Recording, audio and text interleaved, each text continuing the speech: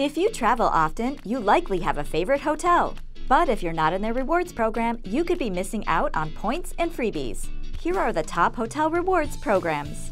If you're looking for convenience, Wyndham Resorts has more than 25,000 hotels, homes, and condos in their network. Your rewards can roll over and will never expire. As an added benefit, you can use your free stays at one of Wyndham's five all inclusive hotels.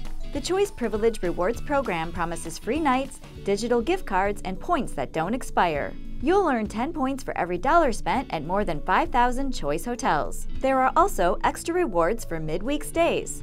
If you enjoy perks like free in-room Wi-Fi, Marriott Rewards is for you. There's no blackout dates when using points and you can even earn points for meetings and events. For every dollar spent, you can earn 10 points or 2 airline miles.